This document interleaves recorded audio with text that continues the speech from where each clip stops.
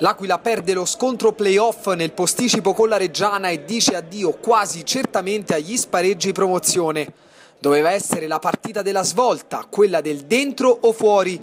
In realtà il match serale del Fattori ha solo aggravato ulteriormente la crisi di identità e di risultati in cui verte la truppa di Zavettieri da inizio febbraio. Il tecnico calabrese in queste ore è tornato sulla graticola e potrebbe essere esonerato per far posto allo scalpitante Ninni Corda. Davanti a circa mille spettatori l'Aquila scende in campo con il solito 3-4-3.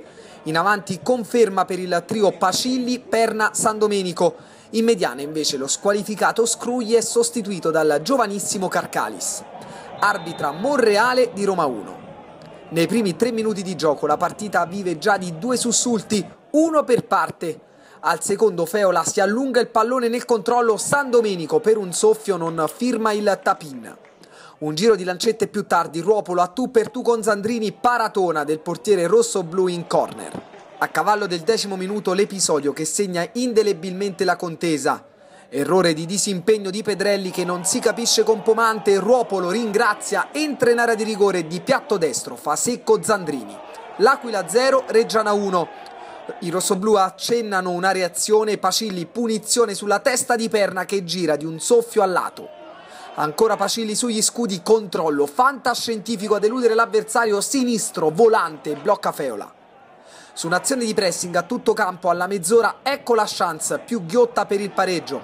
San Domenico soffia palla Spanò, Perna e Pacilli nel mezzo, ma inspiegabilmente San Domenico tenta un improbabile dribbling perdendo il tempo della giocata.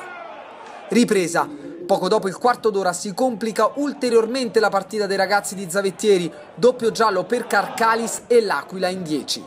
Entrano De Francesco, Gotti e Corapi che prova a dare una scossa al minuto 66, punizione insidiosa deviata in corner. La Reggiana, scampato il pericolo, va vicina al raddoppio. Andreoni in contropiede per Siega, ancora Zandrini a chiudere la porta in faccia al numero 11 Emiliano. Altra occasione a 10 dalla fine, Giannone imbeccato in posizione regolare, Zandrini saltato, poi però errore nel cross per la corrente parola. L'ultimo sussulto è dell'Aquila con un altro tiro insidioso di Corapi che però fa solo la barba al palo. Finisce così, crisi nera per l'Aquila, forse a questo punto sarebbe meglio pensare a raggiungere la salvezza. La piega che sta prendendo il campionato lascia ormai più di una preoccupazione.